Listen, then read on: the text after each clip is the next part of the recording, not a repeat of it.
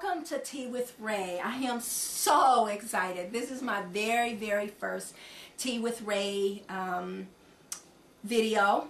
And today I'm going to be talking about four primary teas that come from one tea plant.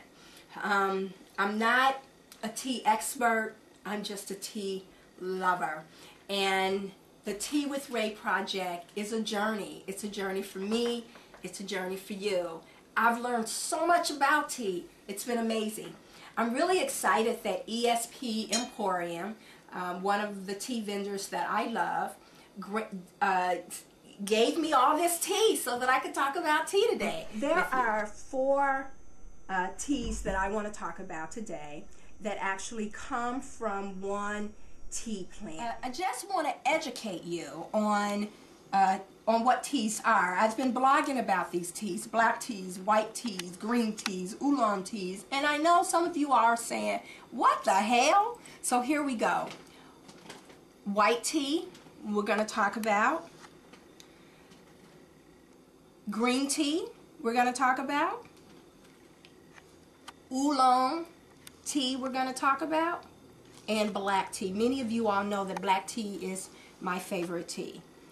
Um, these teas, these four teas, white, green, oolong, and black, actually come from the same uh, tea leaf. The difference is when these uh, leaves are picked, uh, what part of the plant they're picked from, and um, how they're processed. Okay, so white tea uh, basically is primarily grown in China and it is in the Fujian, F-U-J-I-A-N, y'all know I can't talk, uh, province of China. They, what they do with the white tea is they pick the lighter, um, the youngest actually buds of the tree, of the white buds of the tree. And what they do then is they let them dry out in the sunlight so that they don't um, have a heavy oxidation. And what that does is it allows the tea to have um, the least amount of caffeine. So white tea has the least amount of caffeine.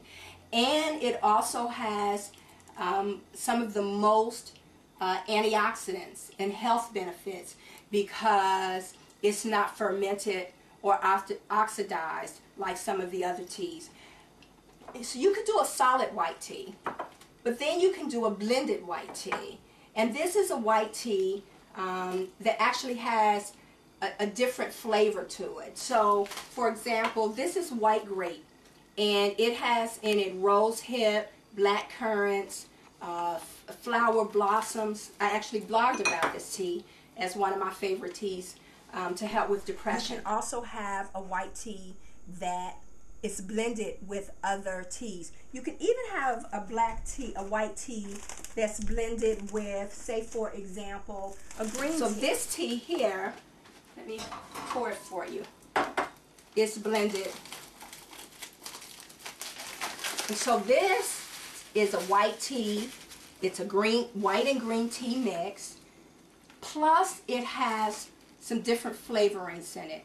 Uh, blossoms and flowers to, to give it, um, mm, oh, actually the smell of flowers is wonderful. And so we start with a base and tea. then we add, then they add other uh, herbals to it, flowers to it. Sometimes they mix the two um, to give it a different type of flavor. So green teas are also um, very popular and they are grown mostly in China. The thing about green teas is, is that they also have, um, they have the lightest amount of oxidation. White teas have no oxidation. Uh, green teas have a light amount of oxidation. But it's interesting that green teas have gotten a lot of play in terms of antioxidants, in terms of health benefits, heart disease. But what's interesting is, is that white tea actually has more antioxidants than green tea. But out of the two tea groups, uh, white and green, are the most powerful.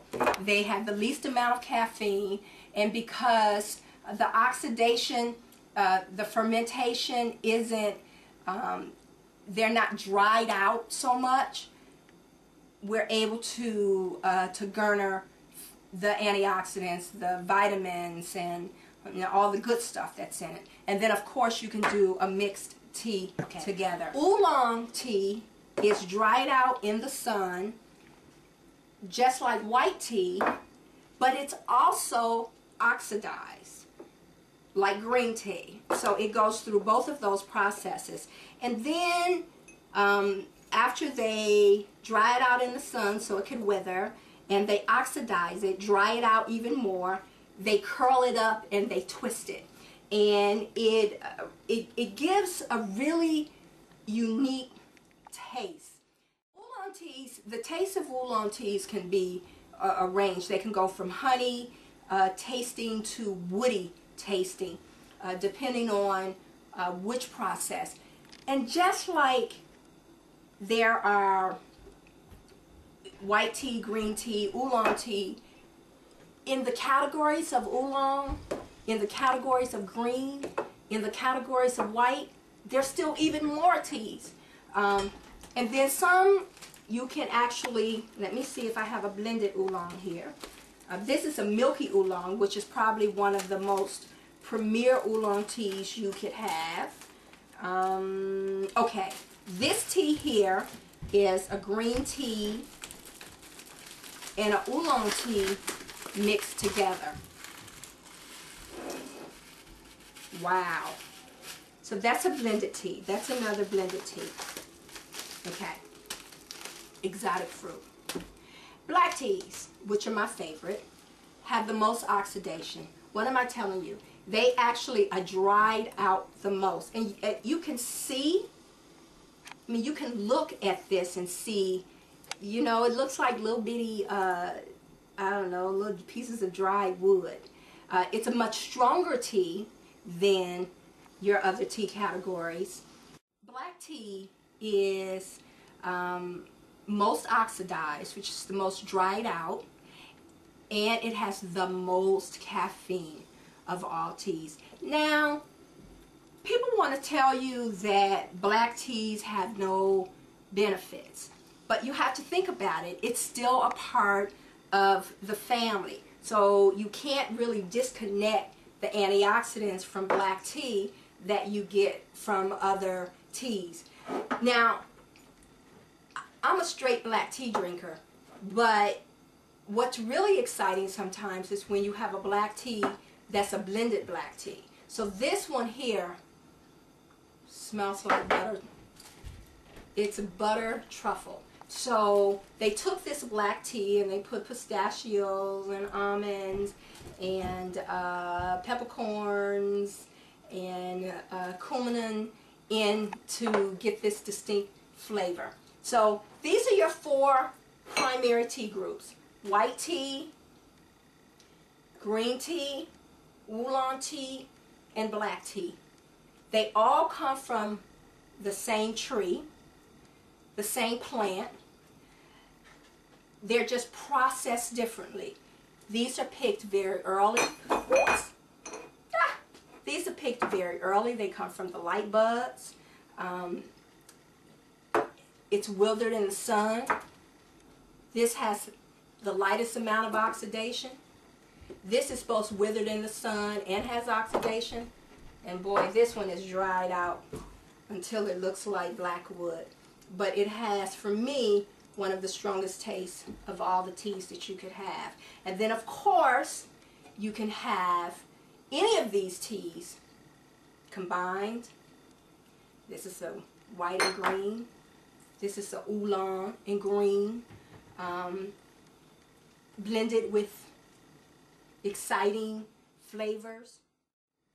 So I just really wanted to give you guys a little information about um, these four tea groups that I, I blog about pretty regularly. I'm still learning. To be patient with me. There's more to come. You guys know that I've talked a lot about the health benefits of these teas.